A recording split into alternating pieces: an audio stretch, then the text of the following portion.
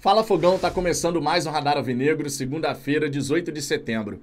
Campeonato Brasileiro pegando fogo, o Botafogo pela primeira vez oscilando na competição e tendo pela frente a equipe do Corinthians, que nessa edição do Brasileirão não tá indo bem a verdade. Cinco pontos apenas acima da zona do rebaixamento. Mas lá em 2017 serve de exemplo para a gente poder fazer aqui um comparativo das campanhas e dessa maneira buscar entender aquilo que está acontecendo com o Botafogo nessa edição do campeonato. Só que antes de mais nada, Fogão, antes da gente trazer esses números, especialmente os resultados obtidos pelo Corinthians no segundo turno daquela edição, fica o pedido para você poder deixar o seu like, você se inscrever aqui no canal e dessa maneira nos ajudar a alcançar a marca dos 35 mil inscritos. Além disso, eu também peço para você se cadastrar na Perimet, patrocinador oficial do Glorioso e parceiro aqui do canal. Quando você se cadastra na Perimet através do link que está na descrição desse vídeo ou no primeiro comentário fixado, você dá uma moral gigantesca aqui para esse que vos fala e fortalece a nossa parceria com o patrocinador oficial do Glorioso. Você também tem direito ao código bônus, que é o cupom LUNA, quando você for fazer o seu cadastro. Ele te dá direito ao bônus de boas-vindas, que funciona assim. A partir de um depósito de 50 reais, utilizando o cupom LUNA na hora do cadastro, a Perimet vai chegar junto com o mesmo valor que você colocar, limitado até R$ 1.500. Ou seja, se você colocar 100 reais na Perimet, eles vão colocar mais 100 e você vai ficar com 200. Dessa maneira, você vai poder fazer a sua fezinha nos jogos do Botafogo, em outras partidas do Campeonato Brasileiro, Copa do Brasil, Libertadores, Sul-Americana, outros campeonatos mundo afora ou mesmo outras modalidades. Hoje, por exemplo, a gente tem Campeonato Brasileiro. O Bahia recebendo o Santos e o Corinthians recebendo o Grêmio. É bom a gente ficar de olho, inclusive, nessa partida. O Corinthians ganhando é bom pro Botafogo. Dá uma olhadinha nas odds aí, tanto de Bahia vencer quanto de Corinthians. Eu já fiz a minha múltipla. Vitória de Bahia e vitória do Corinthians dá bom aqui para esse que vos fala. Cadastre-se na Perimet e sempre faça a sua fezinha com responsabilidade. Site para maiores de 18 anos. Dito isso, Fogão, vamos em frente. Todo mundo sabe que o Corinthians em 2017 fez 47 pontos também na primeira metade do campeonato, só que com 14 vitórias e 5 empates. O Botafogo, por sua vez, agora é o detentor desse recorde pelo número de vitórias, justamente. Foram 15 vitórias e 2 empates. Só que quando começou o segundo turno para o Corinthians, as coisas começaram a dar uma oscilada, exatamente como está acontecendo agora com o Botafogo. Naquela ocasião, o Corinthians não teve troca de comando técnico. Eles foram, né, do início ao fim, fazendo trabalho com o mesmo profissional. Diferente do que acontece com o Botafogo, que teve o Luiz Castro até a 12 rodada, o Cláudio Caçapa da 13ª à 15ª e da 16ª em diante, Bruno Lage. Isso por si só já pode gerar uma instabilidade dentro da equipe. Afinal de contas, são profissionais distintos fazendo um trabalho. E por mais que você deva construir em cima da base sólida anterior, é natural que cada profissional possa fazer uma escolha diferente aqui e ali.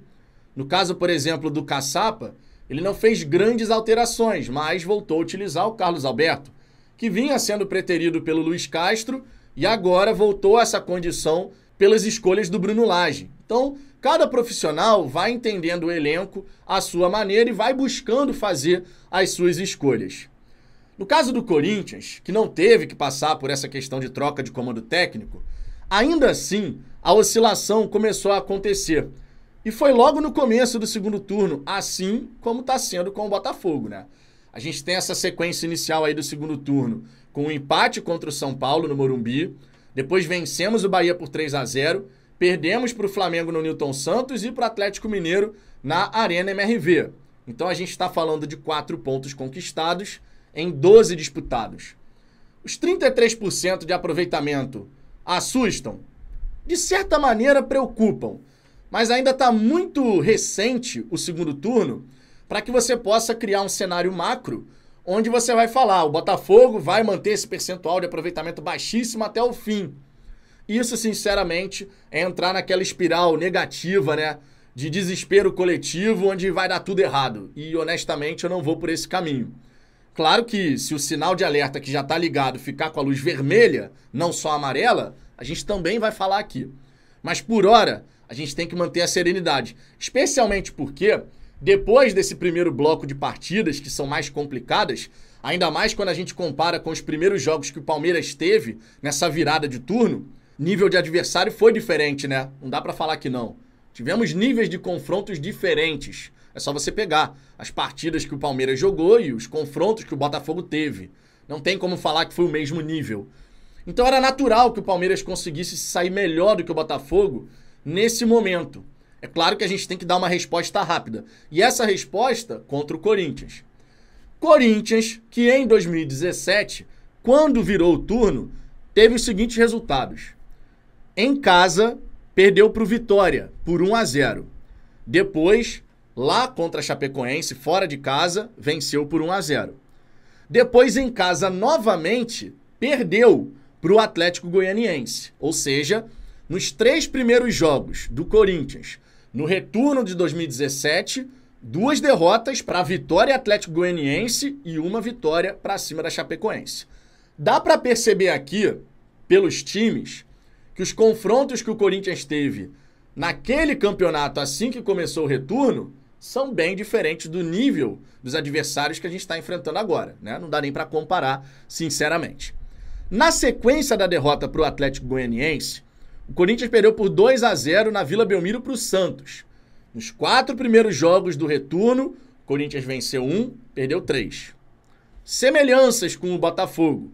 Semelhanças com o Botafogo. Não dá para falar que não. O Corinthians então vence o Vasco na sequência, em casa. Empata no Morumbi com o São Paulo por 1 a 1 e com o Cruzeiro lá em BH por 1 a 1 também.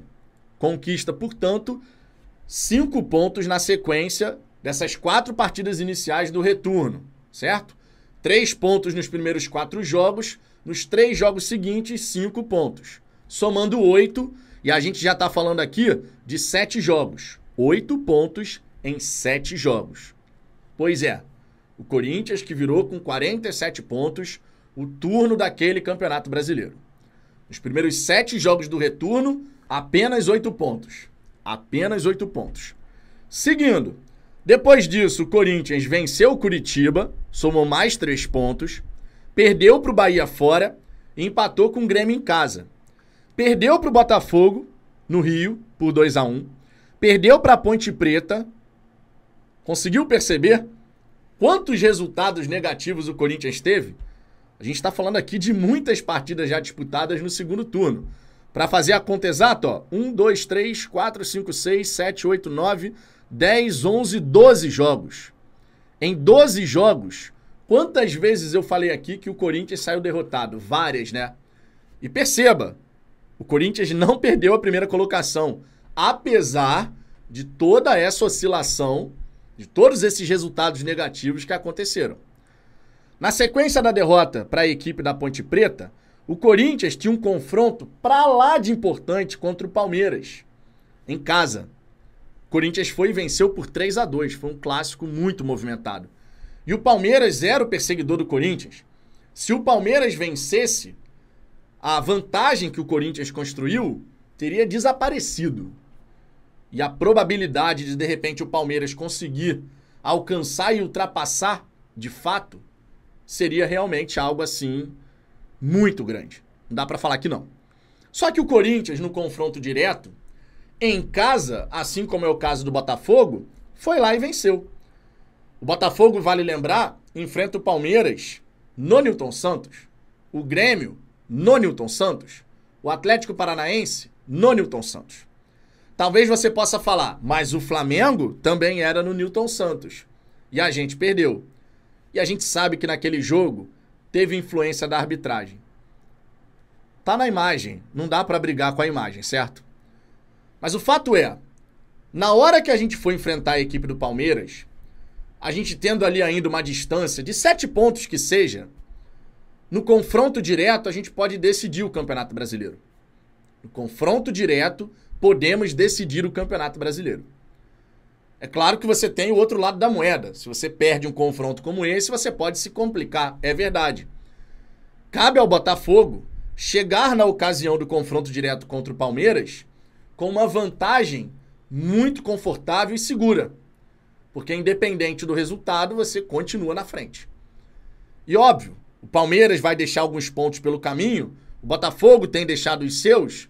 A gente espera que nessa balança coisa fique equilibrada. Repito, se a gente chega para o confronto contra o Palmeiras com uma diferença de 7 pontos, vencendo o Palmeiras a gente abre 10. E aí, meus amigos, a taça vai ser nossa. Simples assim. Precisamos dar uma resposta rápida vencendo o Corinthians, para dar aquela tranquilizada no ambiente e esse cenário positivo possa, claro, acontecer. Depois de vencer o Palmeiras, o Corinthians ainda teve pela frente o Atlético Paranaense fora de casa e venceu. Você vê como uma vitória num jogo como esse tem um impacto positivo. Enfrentou o Havaí e venceu. Enfrentou o Fluminense e venceu. E aí se sagrou campeão brasileiro. Já com o título sacramentado, perdeu para o Flamengo, empatou com o Atlético Mineiro e perdeu para o Esporte. Foi o segundo turno de 25 pontos da equipe do Corinthians. 72 pontos foram conquistados ao todo na edição de 2017. Não creio que 72 pontos serão suficientes para o Botafogo ser campeão. Eu estou fazendo aqui uma conta pelo menos de 75. Por quê? Porque nunca tivemos um vice-campeão com mais de 74. Então, pelo menos 75 é óbvio. Se você conquistar 80, 79, sua probabilidade aumenta também consideravelmente. O Botafogo, nesse momento, tem que ter calma e tranquilidade. Não pode ficar confortável com a vantagem que conquistou, porque essa vantagem reduziu. Ligou o sinal de alerta sim, mas a gente precisa de equilíbrio emocional. O Corinthians quase quis entregar. Na hora derradeira, ganhou seu arquirrival que estava concorrendo pelo título e foi até o fim conquistando aquela taça. O Botafogo continua com uma boa margem. Na 12 rodada, a nossa vantagem para o Palmeiras era exatamente de 7 pontos. 11 rodadas se passaram e essa vantagem está em 7 pontos. Já esteve maior. Nos próximos dois jogos, pode voltar a aumentar. Palmeiras enfrenta Grêmio e Bragantino fora de casa. O Botafogo enfrenta Corinthians, um Corinthians alternativo, fora e depois o Goiás no Newton Santos. A faca e o queijo seguem na nossa mão. E a gente tem tudo para celebrar essa conquista do Campeonato Brasileiro. Basta ter tranquilidade e, claro, buscar retomar o nível de jogo que a gente vinha apresentando. E é possível, porque esse time é capaz. Esse Botafogo pode mais. Quero saber a sua opinião, Fogão. Esses números, esse comparativo, faz sentido para você? Na minha opinião, sim. É o melhor exemplo que a gente tem aqui de um time que também conquistou 47 pontos no primeiro turno e depois, mesmo caindo de performance, num nível que eu não acredito o Botafogo vai acabar tendo, tá? Não acredito que o Botafogo só faça 25 pontos no segundo turno, mas serve de exemplo. Apesar de oscilações, a gordura conquistada no primeiro turno pode fazer uma baita diferença. Para isso serve essa vantagem conquistada. Quero saber seu comentário, deixa aqui sua opinião registrada Cadastre-se na Perimet, deixa o seu like, tamo junto e até a próxima.